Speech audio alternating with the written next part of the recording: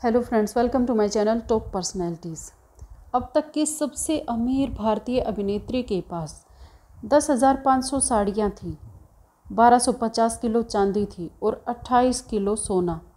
जानते हैं कि वो अभिनेत्री कौन थी? भारत की सबसे अमीर अभिनेत्री या सबसे ज़्यादा कमाई करने वाली अभिनेत्री का ताज वक्त के साथ बदलता रहता है। नब्बे के दशक में जब से श्रीदेवी ने प्रति फ़िल्म एक करोड़ रुपए से अधिक चार्ज करना शुरू किया। तब से कई अभिनेत्रियों ने आसमान छूती फ़ीस बढ़ा दी। हालाँकि इनमें से कोई भी स्क्रीन क्वीन तमिल इंडस्ट्री की इस दीवा द्वारा अर्जित की गई संपत्ति की बराबरी नहीं कर सकती, जो कि 1960 के दशक में सुपरस्टार थी। अब तक की सबसे धनी भारतीय अभिनेत्री बताई जाती हैं ये हीरोइन। बताया जाता है कि प्रॉपर्टी और सभी तरह से आरामदायक एसेसरीज जैसे कि गाड़ी, बंगले को ध्यान में रखते हुए ऐश्वर्या राय, दीपिका पदुकोण और यहाँ तक कि श्रीदेवी की कुल संपत्ति भी इस तमिल एक्ट्रेस से कम आंकी गई। दरअसल, यहाँ हम तमिलनाडु की पूर्व सीएम और भारतीय एक्ट्रेस जयललिता के बारे में बात कर रहे हैं। जी हाँ तमिलनाडु की पूर्व मुख्यमंत्री और अभिनेत्री अपनी पीढ़ी की सबसे सफल तमिल अभिनेत्रियों में से एक थी।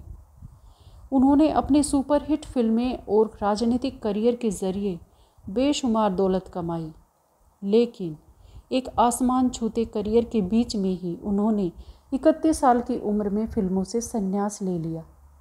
पुलिस ने छापा मारा तो जयललिता की कुल संपत्ति का खुलासा हुआ। उन्नीस सौ सत्तानवे में अपने राजनीतिक करियर के चरम के दौरान अधिकारियों ने चेन्नई में जयललिता के पोएस गार्डन आवास पर छापा मारा था। रेड में उनकी बड़े पैमाने पर संपत्ति का पता चला, जिसमें दस हज़ार पाँच सौ साड़ियाँ, सात सौ पचास जोड़ी जूते, इक्यानवे घड़ियाँ और साथ ही आठ सौ किलोग्राम चांदी और अट्ठाईस किलोग्राम सोना शामिल था। 2016 में जयललिता की संपत्ति एक और जाँच में उनकी कीमती धातुएँ 1250 किलोग्राम चांदी 21 किलोग्राम सोना मिला था।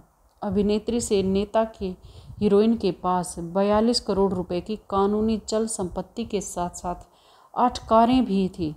रिपोर्ट में दावा किया गया था कि उस समय जयललिता की कुल संपत्ति 900 करोड़ रुपए थी, जो उनके द्वारा घोषित एक सौ अट्ठासी करोड़ रुपए से कहीं अधिक थी। जयराम जयललिता का जन्म 1948 में पूर्व मैसूर राज्य, यानी कि कर्नाटक के मांड्या में हुआ था। उन्होंने एक कलाकार के रूप में अपना करियर 1961 में शुरू किया था, जब वे कन्नड़ भाषा की फ़िल्म श्री शैला महाथमे जो कि 1961 में आई थी, उसमें एक बाल कलाकार के रूप में दिखाई दी थी। फ़िल्मों और नाटकों में छोटी भूमिकाओं के बाद उन्होंने 1960 के दशक के मध्य तक तमिल और तेलुगु फ़िल्मों में एक प्रमुख अभिनेत्री के रूप में अपनी शुरुआत कर दी थी। 1968 में जयललिता धर्मेंद्र के साथ बॉलीवुड फ़िल्म इज़्ज़त में दिखाई दी।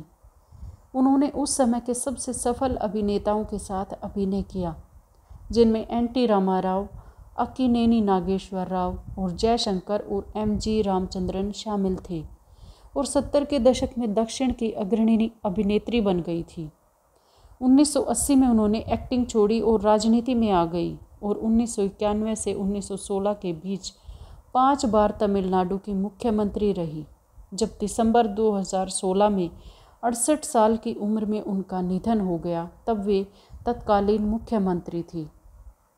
आज की वीडियो में इतना ही। मिलते हैं अगली वीडियो में एक नए विषय के साथ। तब तक के लिए खुश रहें। Thanks to all thanks for watching bye take care